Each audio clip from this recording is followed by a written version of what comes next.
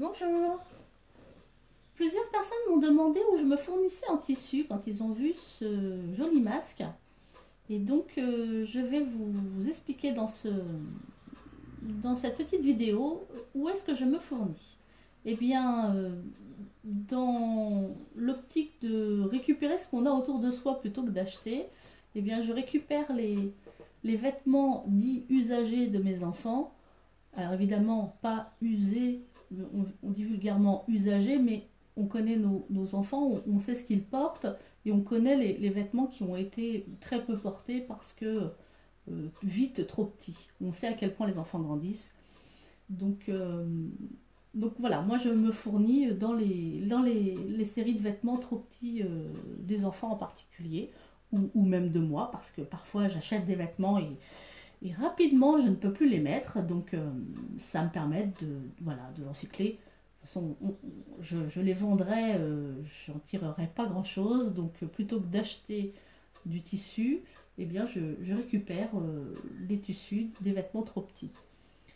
Dites-moi en commentaire où est-ce que vous vous fournissez en tissu quand, quand vous faites ben, soit des compositions quelles qu'elles soient, et c'est intéressant toujours de partager. Si, vous voulez m'envoyer des photos de, vos petites réalisations, ça permet d'échanger puis de se donner des idées les uns les autres.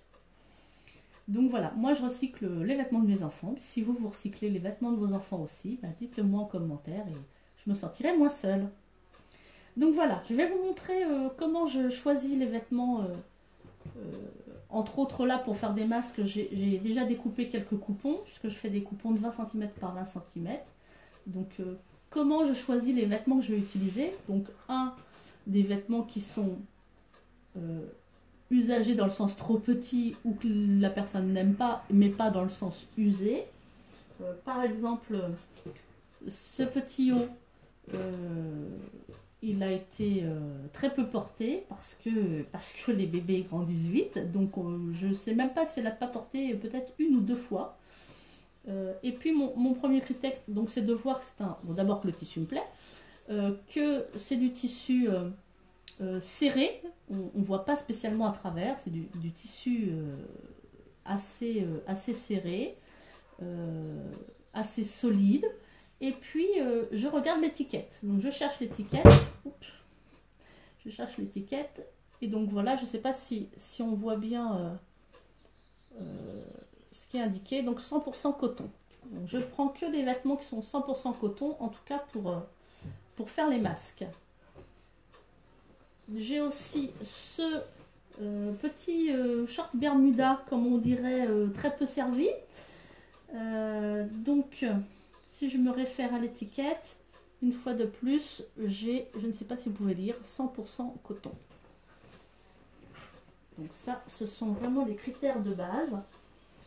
Et puis cette euh, jolie chemise qui n'a été portée qu'une fois pour une soirée, euh, à mon grand désarroi, mais écoutez, c'est comme ça. C'est pareil, la première, le premier réflexe, c'est de regarder euh, qu'il est bien indiqué 100% coton. Et donc dans, un, dans une pièce comme celle-ci, je, vais pouvoir facilement faire un carré ici, un carré là, Dans le dos, euh, peut-être pas 4, mais au moins 2. 2 carrés ici.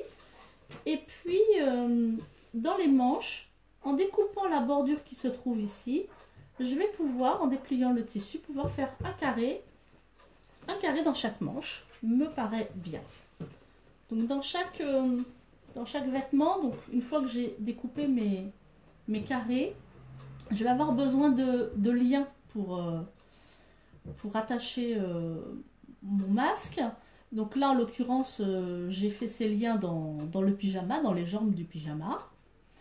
Euh, et donc, pour celui-ci, on peut très bien imaginer récupérer la bande qui se trouve ici, puisqu'elle a été piquée des deux côtés. Donc, une jolie découpe le long, là, des deux. Donc, ça nous permet déjà d'avoir des liens. On peut considérer qu'on a besoin à peu près de 40 cm de liens pour être à l'aise. Donc ça me permet déjà d'en avoir deux. Et puis rien ne m'empêche après d'en faire euh, dans la longueur des manches. Je récupère aussi les boutons. dans la version euh, ça peut servir, je récupère les boutons parce que euh, voilà, on a, toujours, quand on fait des, petits DIY, on a toujours besoin de faire soit des yeux, soit simplement du boutonnage. Enfin voilà, il y a toujours moyen de, réutiliser les boutons. Donc voilà, d'où je me sers, quel, de quel tissu je me sers pour faire entre autres les masques ou mes réalisations? Je prends des vêtements trop petits des enfants qui ont été très peu portés. Eh bien, euh, si vous avez aimé cette vidéo, n'hésitez pas à me mettre un petit like, ça me fait toujours plaisir. Vous pouvez aussi vous abonner en cliquant sur abonner et la petite cloche qui va avec pour recevoir mes prochaines vidéos. Je vais vous montrer comment je découpe euh, mes carrés, enfin mes carrés de masques dans le but, enfin des carrés dans le but de faire des masques. Voilà, eh bien j'espère que ça vous a été euh, utile.